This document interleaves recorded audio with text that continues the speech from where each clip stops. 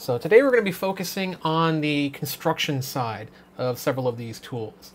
And what we really want to go over is not so much the picks and clicks, but looking at how these new features and how the new coordination uh, abilities of these programs are really going to help out the industry with regards to the construction side of things. So we'll be looking at a handful of different programs. So something like Vault, how that actually can work with coordinating and organizing all your software. We'll be looking at things like Navisworks with some of their new features for quantity takeoffs. But the focus is going to be on the construction side and on the how this is going to make people more profitable, how it's going to help with coordination, and how it's just essentially going to help the industry with moving forward and being better.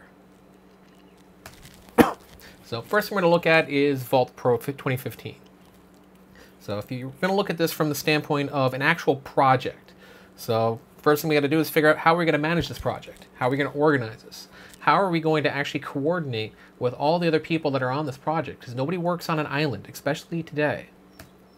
So some of the things that they've actually done to this tool has improved the data standardization. So if you're working on a very large project or even on a small one, you don't want to have to look for files in 15 different locations. You also don't want to look for files that are named 13, 12, you know, however many different ways. So this allows you to template different things if you want. It also allows you to drive the compliance for project requirements. now, how it does this with a few things are Revit integration. So you can actually manage your files by uploading them to Vault, saving them there. Vault can actually see some of the properties now. They can map different things. You can actually pull files into the Revit project from Vault, which is definitely beneficial if you're trying to coordinate a couple of different offices worth of content or trying to save your sheets and share those around. So a lot of little things there, but they've added more features to this. Hmm. Now, part of Vault that's great is its ability to share and coordinate amongst multiple locations. The thing is, those multiple locations, they tend to be within one office. Part of the Vault Pro gives you Buzzsaw. So whatever you have locally, you can actually share outside of your office with Buzzsaw. Now you have complete control over this. You can manage the the uh, the access rights for however many people you want. And you can actually access this. If you notice on the slide here, we're looking at it through a web browser. You also have access to this on a mobile device as well. So just by having them on your own vault within your own network, I can automate the process of sharing files out. And in the same uh, breath, I can actually share that with the programs that I'm working with. So if you have somebody who is offsite, consultant that works with you on a project, you've given them access to your Buzzsaw site. So they actually can open up and then save files back directly to Buzzsaw. Now the nice thing about that is your Buzzsaw site is synced with your vault. So it can automatically be uploading your work to the Buzzsaw as well as downloading other people's work to your vault. So that way your backgrounds are always up to date and the files you want to get to other people are always up to date. And this actually does work with Revit as well. So you've always been able to export the DWFs as well as DWGs to Buzzsaw. You can now save files like the actual RVTs there as well. Hmm? so once we've got everything organized, we figured out how we're going to share files, we've set things up. Now we have to figure out, well, what are we actually doing with our project? Now, some of you may have noticed that there's a program called Recap. If you're on one of the design suites, this actually is something you already have. And it's one of those great tools that has a lot of little features in it, but it's very easily overlooked. Recap is a program that is designed to help manage and view large cloud uh, uh, point clouds. So if you're normally working in a point cloud, sometimes it can get really heavy, really hard to manipulate and manage. Now, one of the great things about this tool is it allows you to coordinate and organize things the way that you want. So on the slide that you're looking at right now, what you're actually able to see is that you're highlighting all of the elements in that cloud that have been assigned as equipment. So if you're working on a project, maybe you could care less about the equipment. You want to know where the walls are, the ceiling height is, and where the floor is to line everything up. So, okay, I turn that off. I can hide it. I can delete it. You notice that there's actually notes in there. Place poster here with an actual website in it. There's dimensions for what the floor to the ceiling is and also from the edge of that table to the wall. You can mark this up. You can save content on it. And you can actually save this out and then bring it directly into some of the other applications we're going to look at. And you can also share this with people who don't have Recap by uploading this to Recap 360. So one of the benefits of this is the ability to actually view the point clouds online. All you have to do is log on with a browser, nothing else. And then from there, you can actually work on it. Now, the other really cool ability, and this is one of those things that's kind of new for a lot of people, is the ability to create 3D models based off of our point clouds, or, or sorry, based off of our photography. So what we're actually looking at right now is a 3D model that was created based on photographs. You can kind of see all those photos on the left-hand side. Those were taken from a little RC helicopter. So you put a little camera on one of those things, you either fly it around the site, you have it be automated, however you want to do that. You can also do this on the ground and inside of a building as well. But this is taking those photographs and building a 3D model. So think about that. You go out to the site, you spend about 20 minutes doing this, you upload it to the cloud, come back in a couple of hours, and you have a 3D model to work with. So that kind of shaves off a little bit of time there for a lot of people. Now, the other benefit of Recap is that the technology behind it, the Recap engine, is being built into a lot of the other applications. And we'll talk about that, and I'll actually show some of that in a little bit. So things like the ability to snap to that point cloud in AutoCAD and actually be able to do clash detection now against the point cloud in 20 in Navisworks. so moving forward, another tool called InfraWorks. So InfraWorks tends to be considered as a infrastructure tool. The thing is, though, if you look at what it actually does, it's not just for infrastructure. You can use it for a lot of different things, whether it's construction for presentations, whether it's for working with those point clouds that we just looked at, uh, aggregating different buildings on the site to look at them and analyze them, simulate things, or just put things together as presentation values. So this is just a slide showing InfraWorks with a point cloud in it, and the different colors are actually showing you the elevations. And one of the benefits of that is on the other side slide here, we're actually looking at the reality, the point cloud scan of the bridge matched up with the 3D design of it. So we're looking at this from a standpoint of how close is the as-built to the intended design. And you can animate things, you can make very, very high level resolution, uh, uh, high, high quality uh, presentation images. You can set things up for web-based browsing. And one of the really neat features is the ability to use this as an augmented reality tool. So I think walking through the site, walking through construction, and you're looking through the screen and seeing what doesn't exist there or maybe is hidden because it the model understands what needs to go there or what actually is built there. And that could also again be point cloud data. So we're utilizing the tools for what they can give us and what they can actually benefit in the construction cycle. So we move on to Revit. Now, it's not necessarily a construction tool here or a construction uh, feature, but the ability to do hidden lines in a view of just everything that's hidden is definitely something that's going to be useful. So if you're trying to look in something or explain something, you can now see beyond objects without having to grab a whole bunch of things or do a lot of work. So if you're trying to take a look at what's above the ceiling or behind a wall, it just makes it a lot faster. Now, for those of you who are working with people who maybe aren't using Revit or those people don't feel comfortable sharing their Revit file, there's IFC linking. So IFC being sort of like a neutral file format for BIM data. This allows me to link to that file. It speeds the process up. It enhances the ability of using the uh, what intelligence is still in the file. And it also makes life a lot easier when you receive updates. So enhancing the ability to collaborate.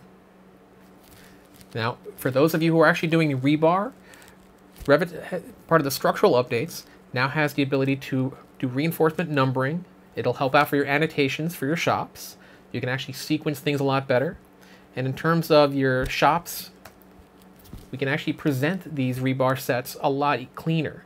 Makes it a lot more understandable as opposed to what's going where and how you're laying this out. So they're trying to make things a lot better, not just for the design side, but also for the constructability and the shop drawing sets. And if you're actually doing as-built or you want to have very high level details for maybe the detailing software, maybe you're building your detailing sets right off of the model. Now we have a lot more control over how these pieces of steel are actually placed. Now, moving on to AutoCAD, a lot of people still use it. It has a lot of great little features in it. And one of the new ones that are in there is the design feed. So the enhanced design feed, you can see on this image here, has a little photo in it. one of the things that you can actually do here is you can work in a drawing that you're currently drawing, modifying, whatever, and you can actually call out areas. Whether you put a push pin in, you draw a circle around it and say, I need something on here. Maybe there's somebody in the field using, using Autodesk 360. You can put a mark on it and say, hey, I need a photo of the existing conditions around this site. Somebody can go out there, take the photo, and upload it. And they don't have to be in your office. They could be working for another company, but they're assigned to this project so that way they can actually sync and see the design feed for that project. So I can ask questions, I can talk to other people, I can send images, I can call out areas for attention.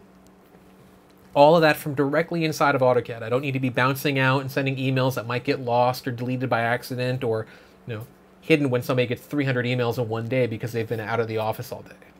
So make sure it stays where it's needed and it's easy to work with. In addition to that, we have some recap tools. So we have the upgraded uh, uh, reality capture integration. The old tools that were in there have been completely redone. So now we can actually crop better. We can manage the way that the, uh, the point clouds are displayed. Sometimes when you have a point cloud taken, normally what it does is it looks with the red, green, blue value. It looks like a photograph. But if it's very dark, it's hard to understand what's going on. In cases like this, you can actually change the way that that image is shown, and it actually will read a lot easier to understand. Hopping over to Navisworks. Again, more recap stuff in here. We can do the clash subsets, so we can actually look at where things are happening.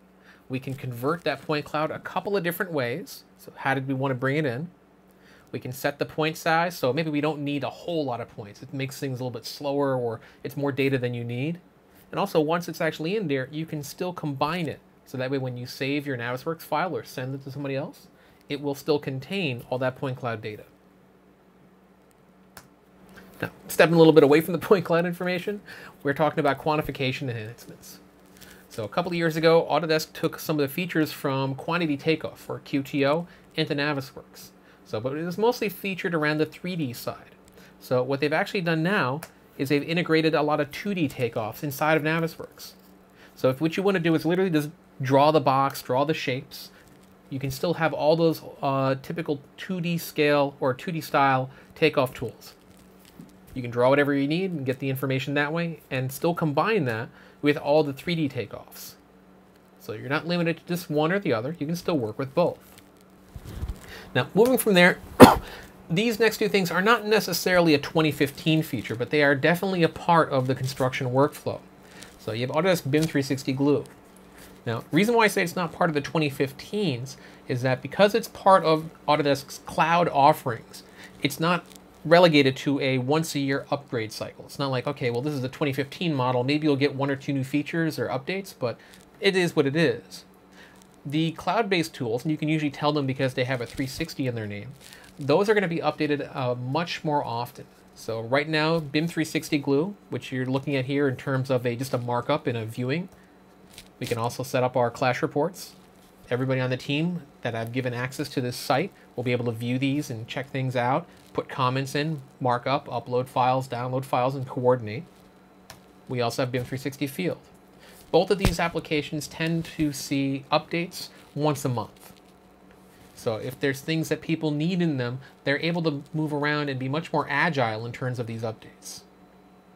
Now, we're going to move over to the demonstration side. We're actually going to hop into some of these software. But what I want to point out again is that I didn't cover all of the updates to those tools. There's a lot of different updates. Some might be important to you, some might be important to somebody else. What we did was we cherry picked and focused on several of the ones that we feel are very important to the workflow for the construction side of things. So what I want to do right now, though, is hop over to some tools. So what I'm going to do is hop over to Recap first. So what you're looking at right now is actually a point cloud of a workspace. If you see these little circles here, that's actually the photograph, so that cylindrical view that the actual uh, scanner will take. So if I wanted to look at things in more of a photo-based view, I can do that there. What I'm also able to do is put markups and comments. So you can see there's some dimensions here. Comments there. I can also turn things on or off. And you can see I have different scan regions. So there's that equipment one that we were talking about before. I can turn this on or off. So now I can focus on the pieces of information that I actually care about. And once I've gotten this all dialed in, I have a couple of different things I can do. I can save this up to the cloud. So maybe somebody who doesn't have Autodesk software, I need them to look at this and mark something up. Maybe I have a guy out in the field that, you know, in their trailer, they just have an old computer that can get email. Okay, well, they can get online, they can look at this and actually see what's going on and get information back to me. Or I can just save this file out and then bring it into Revit, Navisworks, AutoCAD, based on the way I've modified it. And as far as going back and forth, I can move between different scans very quickly. And the scan that I was looking at was a regular point cloud scan. The scan I'm looking at right now, this huge site, this is a scan based on photogrammetry, meaning that photographs were uploaded. I made, or sorry, I didn't make it. Autodesk 360 made a 3D model for it, and you're actually able to download this and still interact with it the same as you would with any other kind of point cloud. I can select parts of this, I can turn them on or off, I can delete elements that are outside of my purview or things that I don't care about. I can put dimensions on it and quantify and get data from it. Now speaking of the cloud, you have Autodesk Revit 360, or sorry, Recap 360. I can come over here and start new projects, open projects. I can open up samples. So this file right here is the exact same one that we were just looking at. This is the scan data that has been shared to the cloud from the desktop recap. So anybody can come in here, they can find out distances, they can leave notes, just from a browser. This is the point cloud that I'm looking at right now. And if what I need to do is take some photographs and actually build a model, I can do this. And this is a fully 3D element here that I can actually use, download, and bring into other programs and work with. And you can see where some of the other photos are taken from. So that little gray box with the blue lines coming from it, that's actually where that photo is from. So if you're working on large sites and you need to get a quick model to work from, if you do historic preservation, works great for that too. So let's say you have statues that you need to protect, you have statues that you need to create others of. I can very quickly, and I mean quickly, I took this in about five minutes, all the photos. Uploaded this online. About three hours later, I get told that my model's ready. So how long do you think it would really take for someone to get you a model or to get information to somebody who's actually going to be building this? Maybe give them a quote to work from. All of this is digital. All of this is online. And the actual one that I would download from the website is going to be three times more detailed than this one.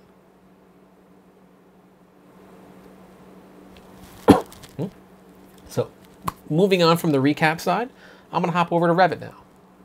So let's say we've got our point cloud, we're working in the program now, and it's time for me to actually get some work done.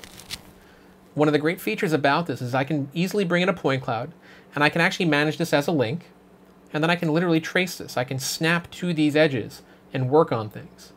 I can manage how much of the point cloud I see, because it is technically a 3D object. So I can crop my view where I need to where I need to start it or stop it. So I'm not seeing too much or I'm not seeing too little. This actually works with all my sections. So if I were to actually cut a quick section through here,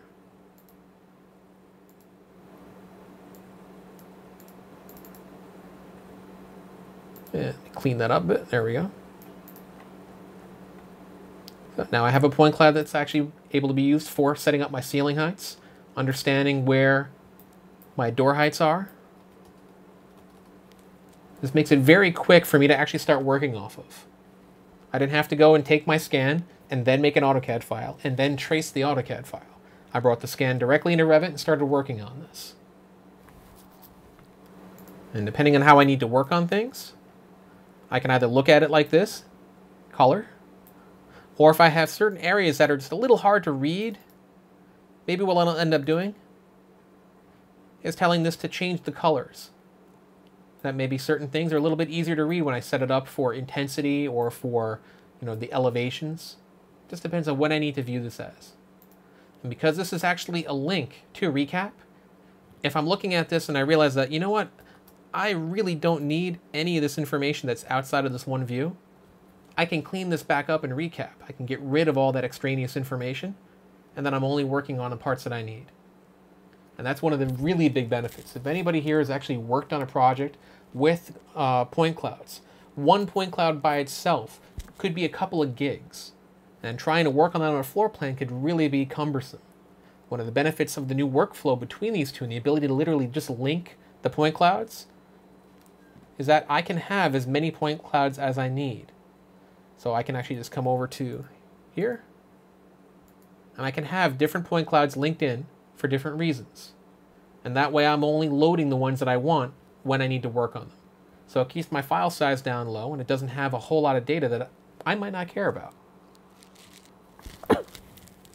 okay, so let's say we've been working in Revit for a little while.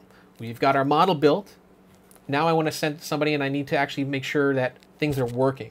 Or let's make sure, or let's say that I only worked on one part of the project. In this case, I'm going to Navisworks. And what I'm looking at here is really, really simple Navisworks file.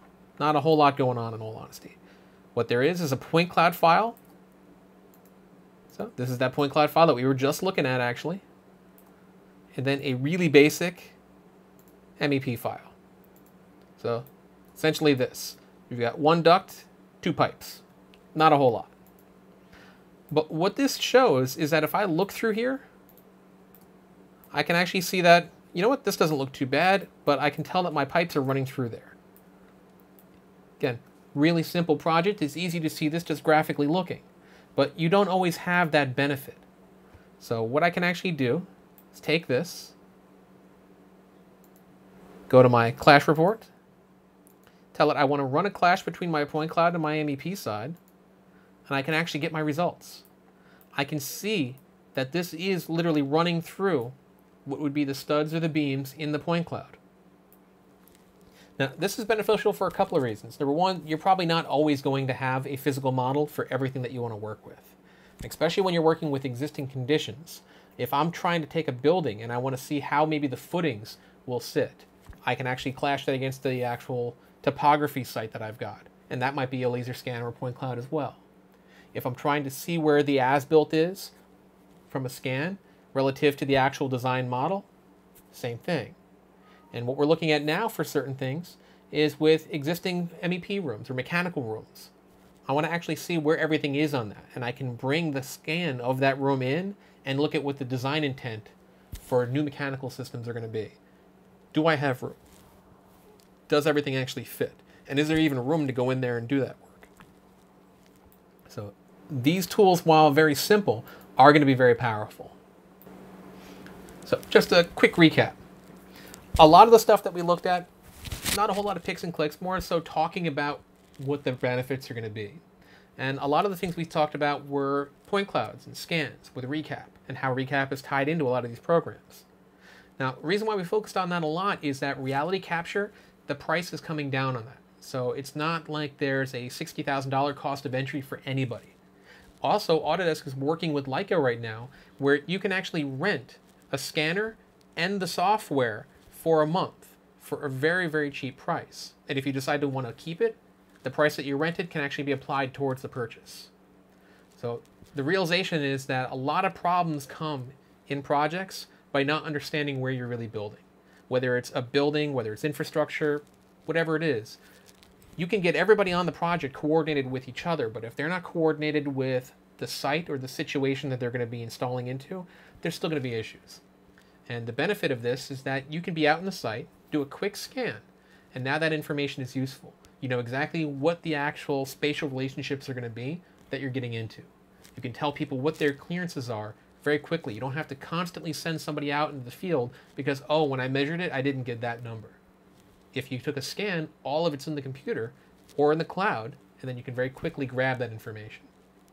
And add to that all the other features that kind of tie into that, whether it's for quantification, sharing files, ensuring things are consistent. Everything ties in with the idea and the goal that we're going to make coordination better, profitability better, and with the way things are looking for 2015, there's a lot of work coming out. Things are really picking up. And we feel that this software and these new features will really benefit and add into that.